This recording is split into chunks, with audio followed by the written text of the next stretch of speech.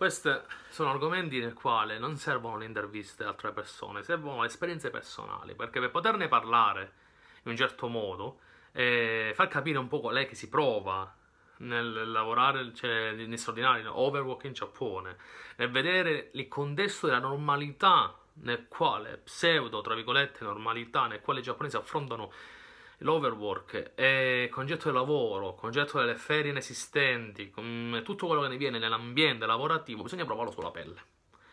Eh, l'intervista o qualsiasi altra cosa è relativo. Io ho raggiunto dei, uh, le, tra le, le 70-80 ore straordinario come massimo al, a giugno e luglio, ho fatto questa media così. E la, la media di ore di sonno di 5 6 scarse, 13 ore di lavoro al giorno, 5 giorni a settimana. A volte lavoravo in extra, tipo una domenica, capitava, mi chiedevano l'extra. Attaccavo a lavorare alle 7 di mattina e finivo il mio turno alle 7.40 di sera. Poi attaccavo 6, alle 7 meno 10, comunque parliamo di 12 ore e mezza più o meno in fabbrica. Facevo il calcolo, 12 ore e mezza diventano 60 ore, eh, 60 qualcosa?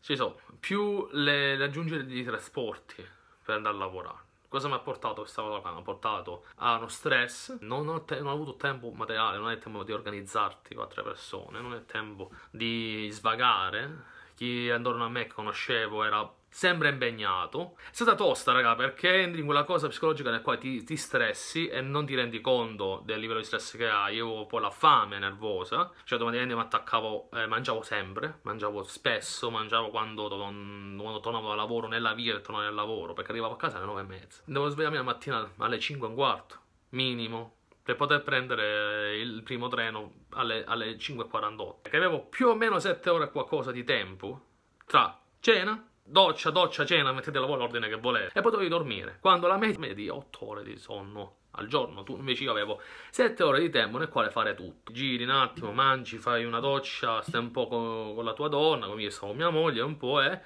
Boom, arrivi alle 11 mezzanotte e dici cazzo devo andare a dormire. Il cervello non vuole andare a dormire, perché subentra un discorso di insonnia. Ecco perché l'ho realizzato perché giapponesi, alcuni giapponesi arrivano a un livello nel quale si, si prendono le, le, pillole per dormire. Che poi sono le stesse con quale si suicidano alcuni giapponesi. Perché arriva un punto nel cervello non si spegne, ma devi spegnerlo. Perché se non vai a dormire, non ti fai nemmeno quelle 5 ore 6 di sonno. La mattina dopo sei uno zombie. Cioè, ogni mattina alzassi diventa un macello. Io ho raggiunto le 98 kg di peso, raga. Ero... YouTube è stata una delle cose fenomenali, perché mi ha aiutato parecchio, ha assorbito parecchio del mio stress. Cioè, venite in Giappone, ma occhio che c'è questa situazione, c'è quest'altra. Cioè, pensate che venite in Giappone e poi fate tutte le serate, tutte le sere a Shinjuku, fa Bordore, tutte le sere attraverso, facciamoci tre ore di slalom nell'incrocio di Shibuya, che bello, tutte le sere, cavolo col cavolo che tutte le sere vai avanti e dietro perché quando finisci di lavorare l'ultima cosa che puoi vedere è proprio l'incrocio. A meno che non vivi la, di casa nel dietro l'angolo, cosa molto complicata, molto impossibile da fare perché se hai una casa la sceglierai un, dove paghi, paghi poco e la media a volte che ho visto alcuni appartamenti di 80.000 yen 700 euro, 800 euro, 900 euro in zone molto distanti dal centro, dai, dai, famosi centri che una persona vuole andare a fare serata e bersi una birra, perciò vuol dire trasporti, treni, macelli e altre situazioni. E comunque la mattina dopo devi lavorare, perciò la cosa si riduce veramente che fai casa, lavoro, lavoro, casa. Cosa ho fatto io? Quando sono tornato dall'Italia mi sono messo un attimo a combattere una battaglia nel quale era diventata ormai una normalità che dovevo finire alle sette e mezza. Ti ho fatto capire che per me non era diventato una, era ingestibile, una cosa ingestibile ed ero pronto a fare fisso la mattina. L'ora in più, che, che, perché a volte io non attaccavo sempre alle sette, attaccavo anche un po' dopo. Poi ho detto io guarda, la sezione la vengo a aprire io 6, 7, 6.50 io sono qua, 6.50 già cloccato, già sono in laboratorio, perché comunque l'autobus arriva in fabbrica alle 6.32, una volta che mi sono cambiato eh, non è che devo fare, vado a lavorare. Ho detto, io le mattine me la prendo tutte quante io, però alle 6 e mezza me ne vado. 7 meno 10 c'è il primo autobus, alle 8 sono a casa. Calcolate che comunque esco da casa alle 5 e mezza di mattina. Sto fuori 12, 6 e mezza, 7 mezza, 14 ore e mezza al giorno io sto fuori, 15 ore più o meno sto fuori, tra i trasporti e, e il lavoro. Su 24 comunque sono fuori 15. Però ho guadagnato un po' più di ore, nel quale torno a casa, posso fare una cena con mia moglie, eh, posso rilassare, posso arrivare alle 10, alle 11, non dico cosa vado a dormire. Però è diverso che varcare la porta di casa alle 9. È veramente un'altra cosa. Cioè, psicologi- psicologicamente è un'altra cosa. Poi tutto quello che è venuto, le, le, le, ho, ho, tolto tutte le mangiate extra, cerco di, di, non toccare niente, non tocco più roba gassata, non, non, mi, non mangio eh, nella via del ritorno, non vado al combino a comprare le patatine, ho eliminato un sacco di cose, ma già questa cosa qua mi sta facendo perdere peso. E il discorso mi rendo conto che intorno a me tutti lavorano queste ore qua, calcolate che se, no, se un giorno vorrei fare 24 ore di lavoro lo potrei fare. Mio, nel contesto mio io, io, posso fare questo perché la fabbrica non ha un, un orario di apertura di chiusura, è sempre aperta. Lavoro 24 ore su 24, ci sono degli orari in cui alcuni laboratori aprono e alcuni chiudono, ma il contesto generale è che si può lavorare sempre. Se io faccio gli straordinari, mi vengono pagati. Alcune aziende giapponesi invece non vi pagano gli straordinari.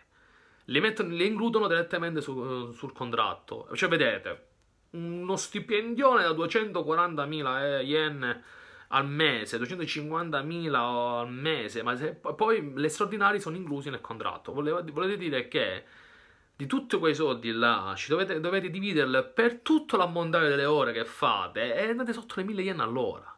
Il più grande problema in Giappone la... non c'è il concetto faccio lavoro bene, è perfetto, no. Più lungo lavoro, meglio lavoro più a lungo rimango a lavorare, più sono una persona che tu ti puoi fidare. Cioè, tu, capo, datore di lavoro, ti puoi fidare di me. Perché? Perché sono pronto a farmi 2000 ore al giorno. E questa è una, una mentalità che danneggia e non cambierà mai il sistema giapponese lavorativo. Perché per quando le modifiche si vogliono fare, questa mentalità blocca tutte le modifiche. Perché se chi la finisce a lavorare, molto capita che uno finisce a lavorare in ufficio, 5 e mezzo, pieno orario preciso, finisce a lavorare, a fare il suo, ma intorno a lui tutti ancora continuano a lavorare. Perciò non può lasciare l'ufficio, deve rimanere e fare finta di lavorare fino alle 7, fino a quando, quando tutti staccano, la maggior parte stacca. Invece questa cosa qua è uno stress psicologico, perché se hai visto male, eh, ma quello se ne, andate, se ne va prima, uno svogliato, un menefreghista, non si impegna. Poi capace che il lavoro voi l'avete fatto tutto, perfetto, ma ci dovete rimanere. Molte volte succede il fatto che la mia posizione è una cosa che io faccio fatica di, a digerirla. Ma quando dovevo rimanere fino alle sette e mezza, capitava che rimanevamo in due. Potevamo fare un giorno rimaneva uno, un altro giorno rimaneva un altro. No, dovevamo stare tutti e due là. Calcolate che però molte volte tra un dolce e un altro bisognava aspettare che finiva la cottura di uno, cioè si svuotava il, il macchinario che conteneva tutto quanto l'impasto, si svuotava tutto il forno tutto quanto il rullo e rimettere nuovo che bisogna cambiare la temperatura, tutta questa cosa qua prendeva un'ora e mezza, due, che alla fine stavamo a guardarci io e mio collega molte volte. Distrutti, comunque stanchi dal fatto che avevamo attaccato presto la mattina pure, perciò arrivi a un certo punto che stai là, sei, sei, sei un attimo così, sei stanco, però devi rimanere là perché? Perché così è, perché così deve essere. Cioè, io ho combattuto una settimana e sono riuscito a trovare il compromesso, però chi lavora in azienda non lo può fare e molte volte si vanno in, de- vanno in depressione, si stressano, si ricoverano, si vanno in mano a, a farmaci, i quali non, non, danno nessun risultato. E molti vedono, non lasciano il lavoro perché hanno paura del fatto che si cominciano a licenziarsi con una certa, cioè ogni due o tre mesi.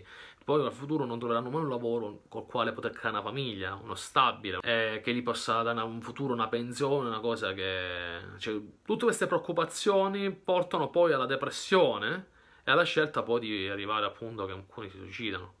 Io mi ricordo il mio collega di lavoro mi ha detto, mi ha detto vai, io vado in Italia perché devo vedere la mia famiglia. Il mio collega ha detto no, non mi piglio ferie perché gli va bene così. Calcolate che l'azienda, in media le aziende giapponesi danno 10 giorni fino a... si parte dai 10, dopo i primi 6 mesi di contratto, se, correggetemi se sbaglio, ma si parte con il minimo di ferie e poi man mano si diventano tipo una 20 che comprendono pure la malattia. Perciò automaticamente quando tu vai in ferie, dipendi dai giorni di permesso, ti vengono scalati da là. Poi a me mi hanno chiesto, visto che ne avevo chiesti, chiesti così tanti, ho detto ma le vuoi tutte pagate o le vuoi pagate? Io ho preso metà e metà non mi sono state pagate. Perché ho detto se ti ammali o hai bisogno di giorni di un giorno di permesso, sappi che poi non verrai pagato in, quei, in quei giorni. Cioè c'è questo discorso qua.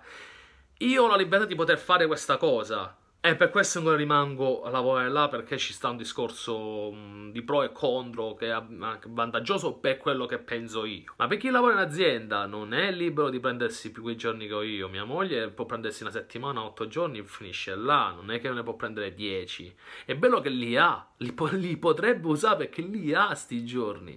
Ma non, nessuno lo fa e il sistema dell'azienda non... Eh, rimane così, raga. È così, è, e molti sono così.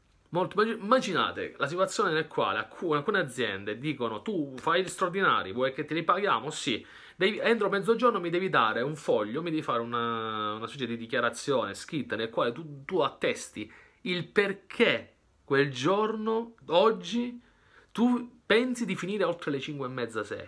Dimostramelo. E, così automaticamente gli straordinari che farai te li paghiamo. Ma tu dal, a mezzogiorno non hai idea di cosa potrà succedere sul tuo posto di lavoro. Automaticamente il gioco è fatto. Nessuno compila quel modulo. E molti, il 90%, si trovano a fare overwork fino alle 7, 8, 9 di sera. E quelle ore non gli vengono pagate. Spettacolo. Perché tu devi prevedere se. E devi. Cioè, non è una cosa che tu dici, ok, sì, io prevedo di rimanere perché così. Tu devi dimostrare il perché. Altro stress sullo stress. E che nessuno giapponese vuole affrontare, cioè nessuno combina. E tutti si rassegnano al fatto che in quella situazione lo stipendio arriva uguale, mi sono sparato tre ore in più, buona. E ogni, mi faccio quelle 50-60 ore in più. Poi ti, cioè, i giapponesi ti, ti dicono, eh, ma sono straordinari sono perché devi ringraziare all'azienda che ti ha assunto, perciò gli devi, devi dare questi, queste ore in più come grazie che mi ha dato il contratto di lavoro, devi rimanere. Cioè come se già tu lavorando 10-11 ore, 12 ore al giorno non, non gli dici abbastanza volte grazie, che, che produ- fanno soldi grazie a tu che, che lavori e che produci.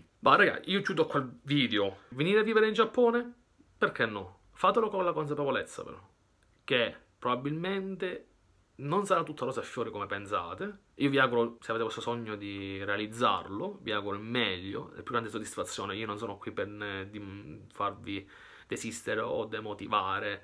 Io sono qui per darvi una chiara informazione sul Giappone, su quello che io, che io reputo una, una realtà che chi non ne parla, perché ve lo ripeto, perché non l'ha ancora sperimentata, sulla propria pelle, per chi non ha un'idea di, come, fun- di come funzioni qua il sistema lavorativo giapponese, ditemi la vostra nei commenti, raga. Mi raccomando. È un argomento che, tu, che cominciano adesso, man mano che escono notizie che riguardano persone che fanno caro, scelgono di o muoiono in conseguenza al karoshi. Tutti ne parlano, è un argomento che ritorneremo a trattarlo molte volte. Anche vedere anche se ci sono stati cambiamenti. Vedremo, vedremo cosa succede. Grazie per il vostro tempo. Un bacio, un abbraccio. Al prossimo video dal Giappone.